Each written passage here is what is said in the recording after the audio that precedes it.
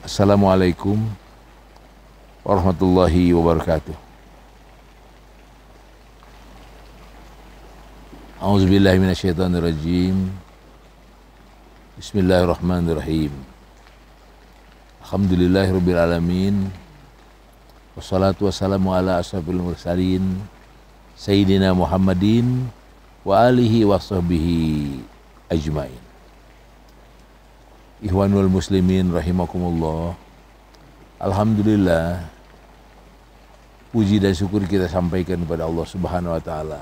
Ungkapan ini karena kita merasa bahwa hari ini kita bisa memanfaatkan sisa-sisa umur kita dalam usaha untuk meningkatkan iman, Islam, dan ihsan kita dalam keadaan yang bagaimanapun juga tetap kita harus memelihara keutuhan iman, keutuhan Islam, dan nikmatnya ihsan.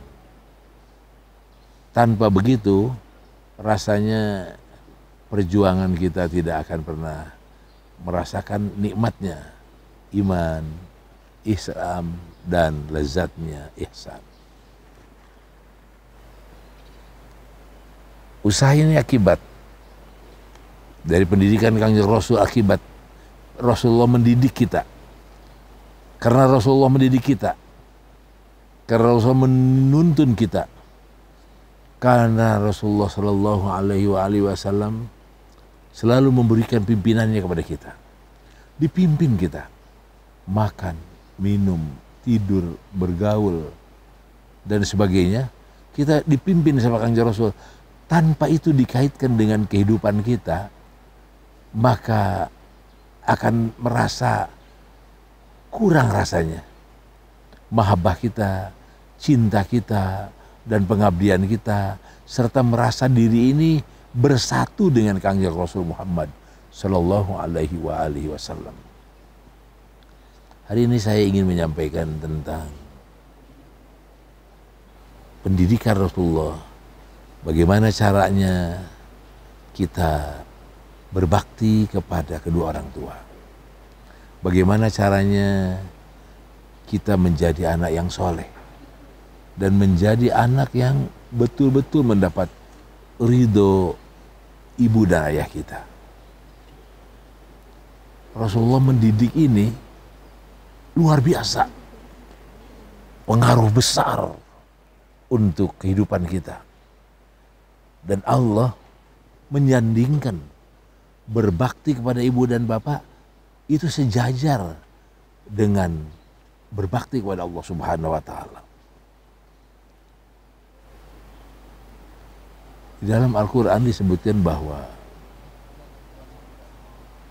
wa qadha rabbuka alla ta'budu illa iyyahu wa bil walidaini ihsana wa qadha rabbuka Allah berfirman auzubillahi minasyaitonirrajim. Bismillahirrahmanirrahim. Wa qada rabbuka alla ta'budu illa iya Allah sudah mewajibkan Allah sudah menentukan. Tidak boleh kita menyembah tidak boleh kita mengabdi tidak boleh kita melakukan sesuatu illa iya kecuali hanya karena dia. Coba tuh. Wabil ini dan terus. Dan kepada kedua orang tua. Wabil ini ihsana. Kita berbuat baik. Berbuat ihsan. Jadi berbuat baik kepada ibu dan bapak ini sejajar dengan kita berbakti, nurut, taat, iman kepada Allah Subhanahu wa taala. Renungkan tuh luar biasa itu. Wa qad rabbuka alla ta'budu illa iya. Wa bil walidaini ihsana. Allah sudah memutuskan, memerintahkan, mengharuskan bahwa tidak boleh kita mengabdi, berbuat, bertindak bukan karena selain dia. harus karena dia dan harus untuk dia. Kalau tidak begitu, tidak benar iman kita. Tidak benar ibadah kita. Dan tidak benar pengabdian kita. Sebab kita punya sasaran. Ke mana, kenapa kita ibadah? Karena Allah. Kenapa kita memberi? Karena Allah. Kenapa kita berbakti? Karena Allah. Kenapa kita tidak berbuat maksiat? Karena Allah.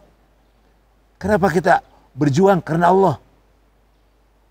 Itu ditanamkan dalam diri kita dan itu ajaran kanjeng Nabi Muhammad Wasallam pemimpin yang memang punya target target yang maha benar target yang paling benar target yang paling jitu selain Nabi Muhammad pemimpin semua tidak punya target semua tidak punya target hanya dia punya label ini loh pemimpin kamu ini loh padahal dia tidak berjasa tidak berhasil dan tidak berguna sebetulnya.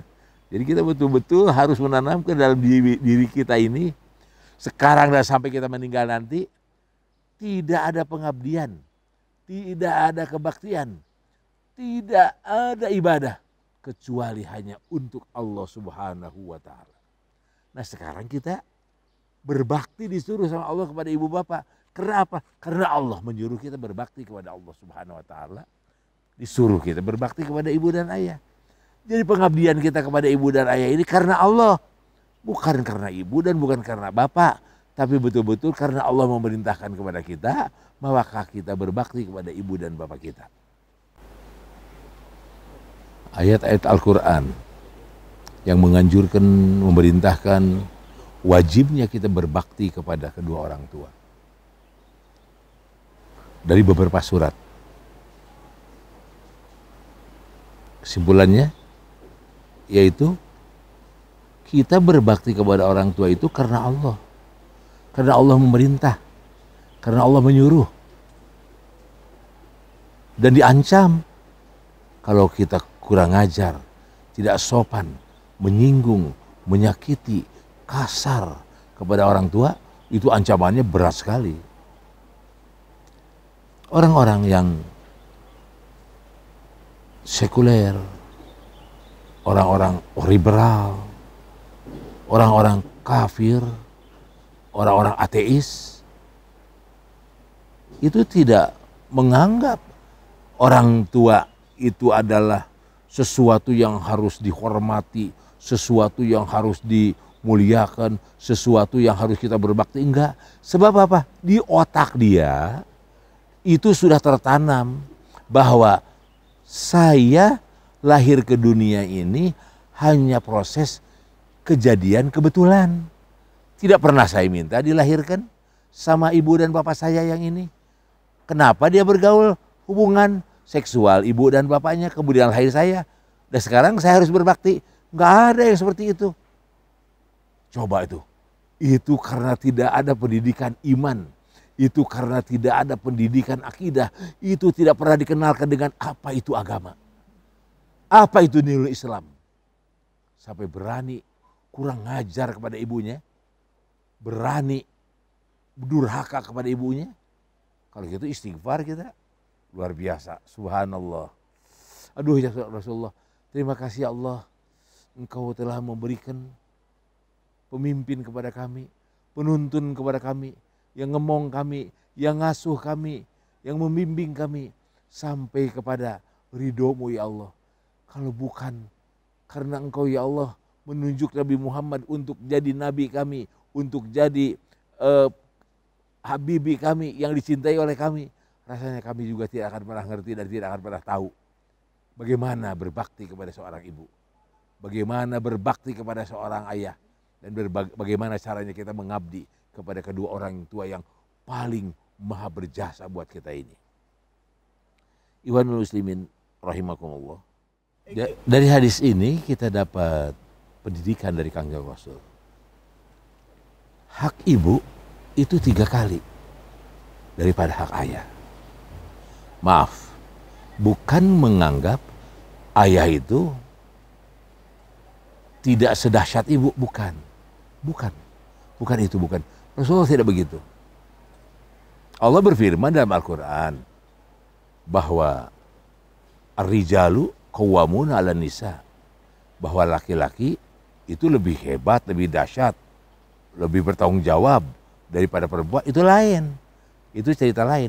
Tapi di sini cerita tentang seseorang disuruh berbakti kepada orang tuanya. Anak ini bertanya kepada Kangjeng Rasul, siapa man ahaku bihusni sahabati ya Rasulullah. Rasulullah menjawab, ummuka. Summa kala kemudian anak laki-laki ini nanya lagi sama Kangjeng Rasul. Summa man ya Rasulullah. Kemudian siapa lagi? Rasulullah menjawab lagi. Summa umuka kemudian ibumu. Summa kala kemudian anak laki-laki nanya lagi. Summa man ya Rasulullah. Kemudian siapa lagi? Rasulullah tetap mengatakan bahwa summa ummuka. Kemudian ibumu. Tiga kali berturut-turut disebut bertanya keempat, summa man ya Rasulullah. Kemudian siapa lagi ya Rasulullah? Kata Rasulullah, summa abuka. Kemudian baru bapakmu. Itu sahabat.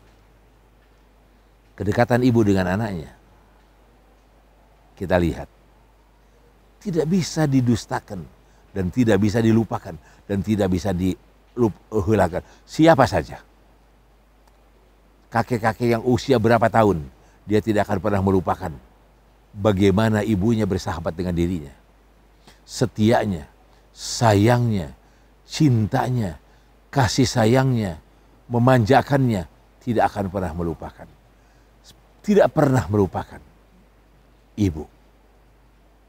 Coba 32 eh 30 bulan sejak kita dihamilkan sama ibu, kemudian disusui, selesai masih belum selesai. Baru 30 bulan. Umur kita baru sekitar 2 tahun 6 bulan. Setelah itu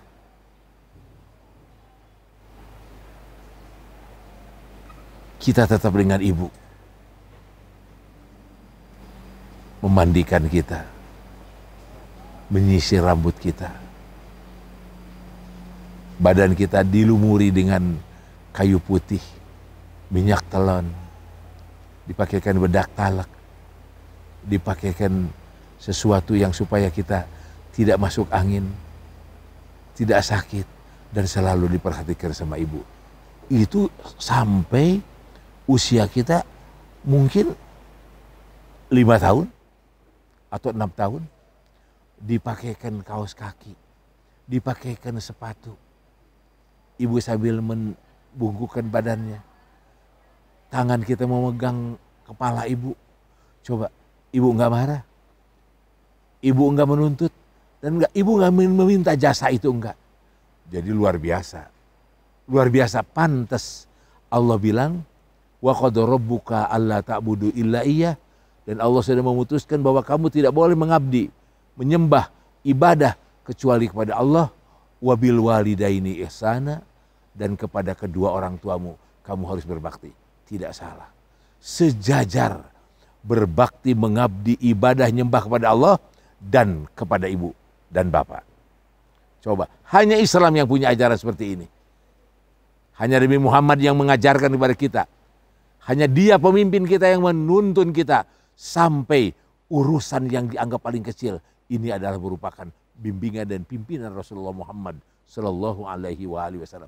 Saya sengaja berulang-ulang mengatakan seperti ini tidak lain hanya supaya kita sadar bahwa kita hanya punya satu pemimpin. Nabi Muhammad Shallallahu Alaihi Wasallam, pemimpin kita lahir dan batin, pemimpin kita dunia akhirat, dan Dia yang memimpin kita akan menyelamatkan kita nanti besok di depan Allah Subhanahu Wa Taala. Yang lain bukan pemimpin. Yang lain bukan pemimpin yang sejajar dengan Nabi Muhammad Wasallam. Pemimpin yang lain culas, hianat, jahat, licik, curang begitu pemimpin yang lain. Rasulullah Muhammad SAW jaminan tidak akan pernah mengkhianati, tidak akan pernah jahat dan tidak akan pernah dia berbuat culas kepada umatnya. Contoh, berbuat bakti kepada ibu dan bapak. Masih banyak lagi yang lain yang akan diungkapkan tidak cukup satu kali pertemuan, tapi untuk sekarang akan saya cukupkan sekian dulu dan kita lanjutkan nanti. Berbakti kepada ibu dan bapak dan banyak lagi berjuta kisah-kisah tentang bakti kepada ibu dan bapak.